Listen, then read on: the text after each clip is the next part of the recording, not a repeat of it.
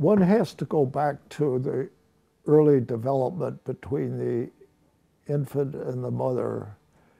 And uh, this would take a long time to, but to condense the important features of it for our purpose, uh, the infant does develop very early an attachment to the mothering person.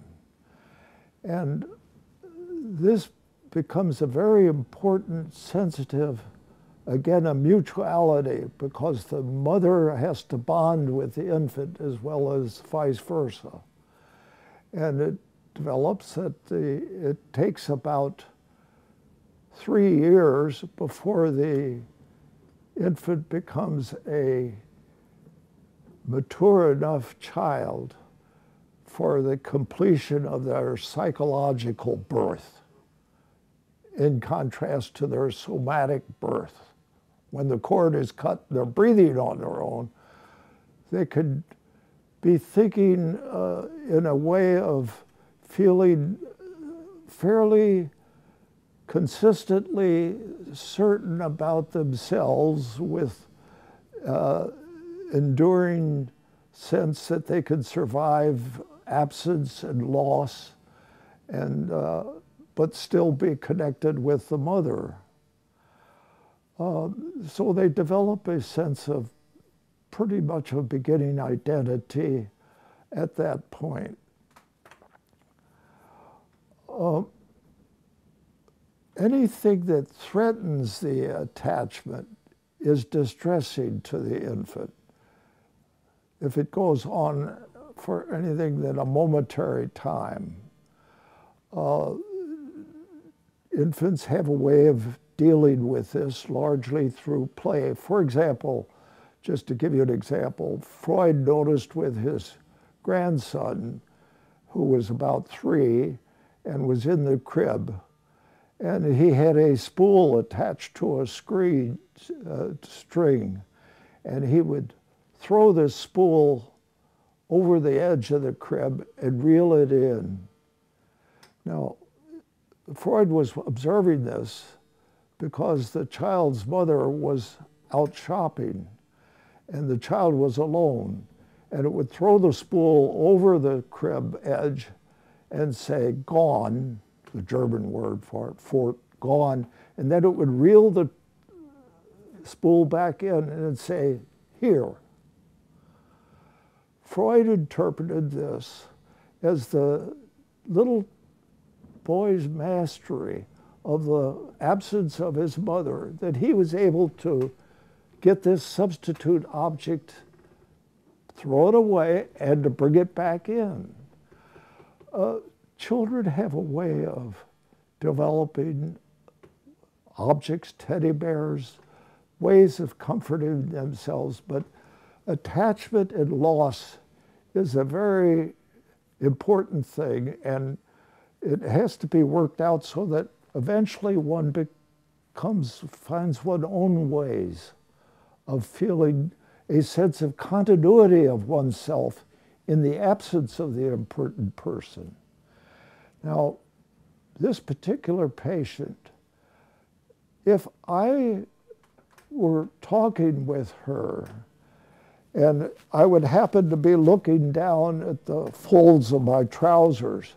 Just taking my eyes off of her would immediately precipitate a blowup.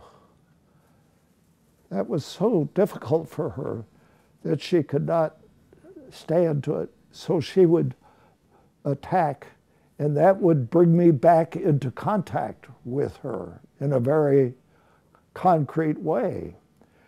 And she would do this very frequently as a way of solving the absences. If she found that she could stir up a fight with someone, or if she could break a glass and hear the chips fall, she knew she was safe. Uh, she was so disturbed that uh, they would want to recess her from the seclusion room to the bathroom. The aides would by the time they got her to the door of her seclusion room, she was in such a fight with them that she would be pushed back into the seclusion room and they would close the door. Now, after this happens, you know, many, many times, one tries to inquire, what is she thinking? And I put together the following story from her. When she was approached by the aides, she would have a series of thoughts which she called the avalanche. The avalanche would start with, sure, I'll go out and I'll go to the bathroom. And then first thing you know, they'll want me to be wearing my clothes.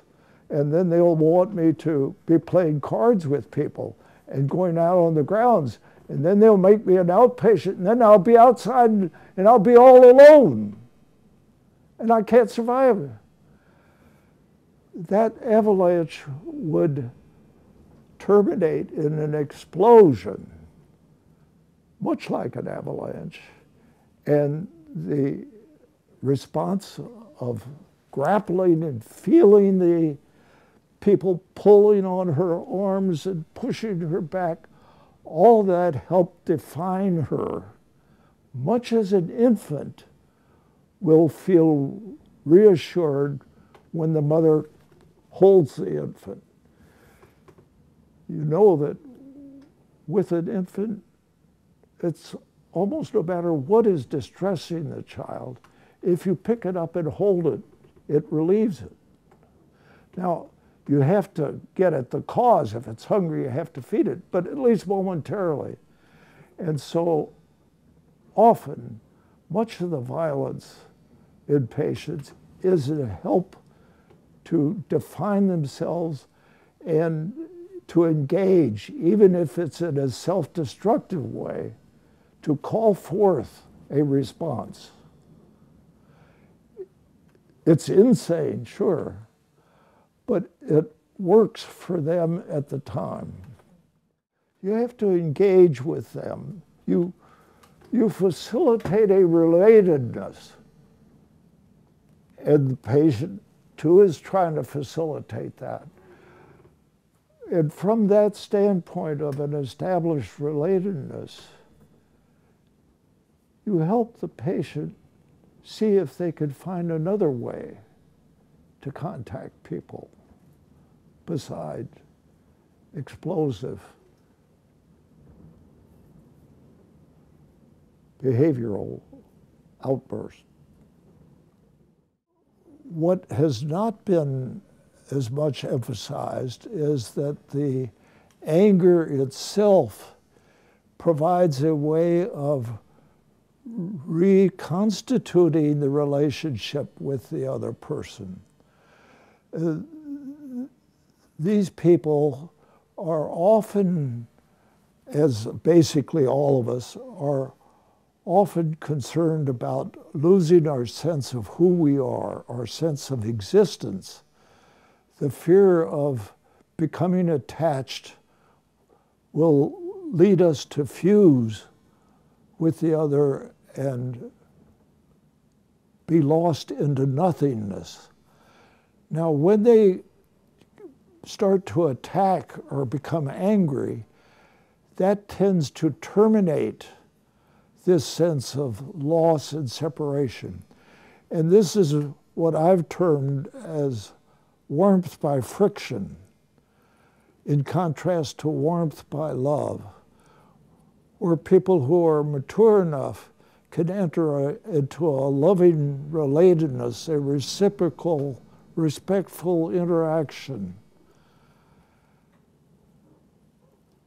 When your concern is that such attachment will result in your feeling lost, swallowed up, dominated, enslaved. You react by fighting back, which puts you into contact. It ends the separation, but also preserves the distance. And so that distance attachment issue is quite evident in the paranoid person who doesn't simply ignore his adversary, but stays connected to the adversary, but in an oppositional way. So he's not threatened with feeling enslaved, lost, or gobbled up into nothingness. And it's a very interesting point, and I think that basically all of us at some level must sometimes experience this. It accounts for much of the endless bickering that goes on among couples. You'd think, well, my God, why don't they separate or leave? No, they, they, they serve a function for each other by warmth. Not warmth by loving relatedness, but by friction.